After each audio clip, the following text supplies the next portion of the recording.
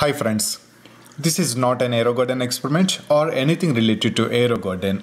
I'm just excited for this project and I just wanted to share my excitement with you all. This is an organic mushroom grow kit from the company called Back to the Roots. This is basically a kit to grow mushrooms at home. I wanted to try this kit for a really long time, a couple of years really, but they're always expensive so I never really tried. I recently saw a discount on Amazon and ordered this. Finally, it is here and I'm going to try this. Since this is the first time I'm growing, I need to read the instructions. An instruction manual, a small spray bottle, and this is the real stuff.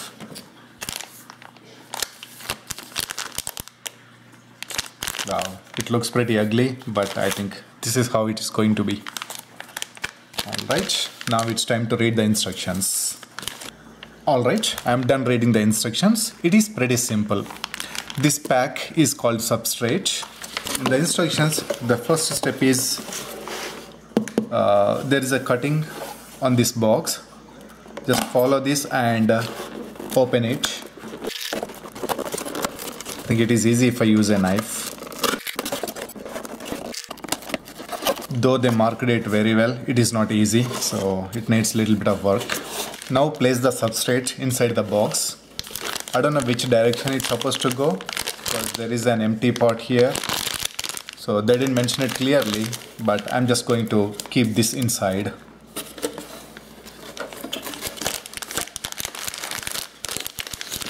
After placing the substrate in the box we need to mark X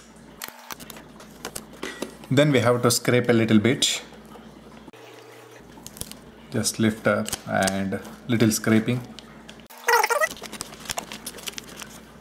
Alright after that take the substrate out and leave it in a bowl of water facing down just like this. So the log is floating and they said that's totally okay that's totally normal. So now we need to leave it like this for 6 to 10 hours. I'm going to leave it 10 hours. Alright the substrate have been soaking for 10 hours.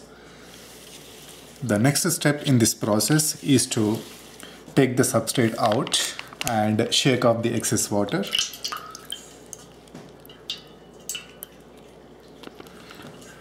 Okay. Now after shaking and uh, taking out the excess water put it back in the box.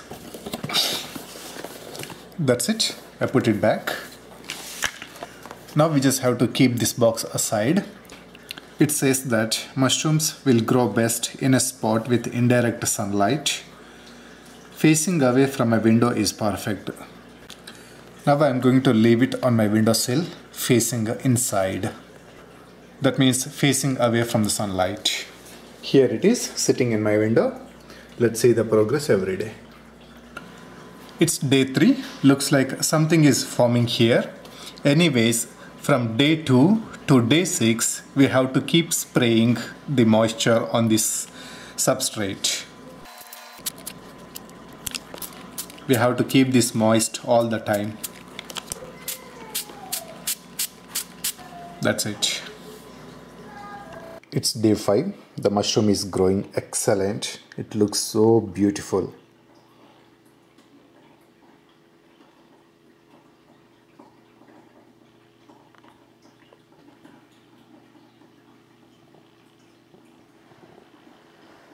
It's day 6. Mushrooms are getting big. Now they are looking even more beautiful.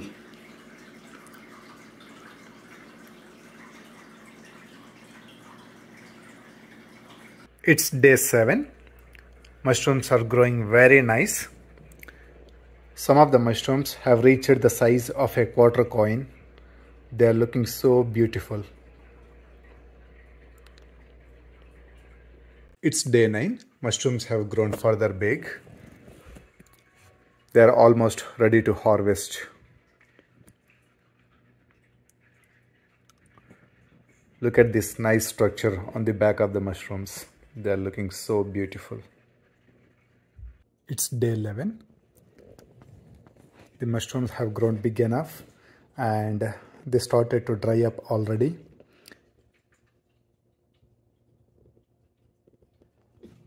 I think I made two mistakes here.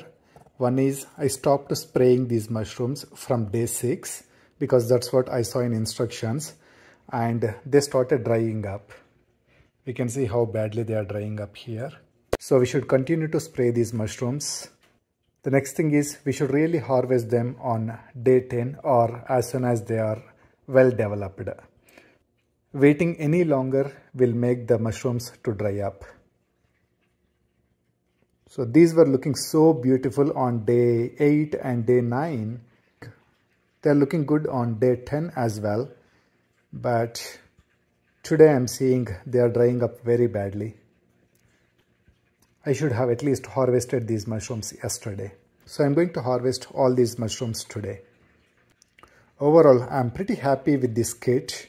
It produced nice mushrooms. I think only because of my two mistakes, I couldn't get the fresh and uh, nice mushrooms. Anyways, I'm going to harvest all these mushrooms today and start over on the back side of the substrate.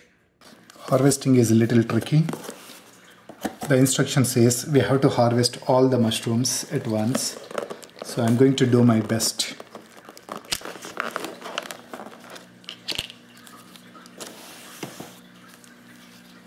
Alright, here it is. My kitchen scale is not working to weigh these mushrooms. Anyway, they dried up little bit, so they lost their weight. But if everything goes well, I think uh, this is going to be about 1 lb of mushrooms. Now the question is, is this worth the price? Usually, the single pack kit costs $20 and I don't think it's worth. And I wouldn't buy these at $20. However, I am seeing that these kits are going on sale pretty often these days. So watch for the deals.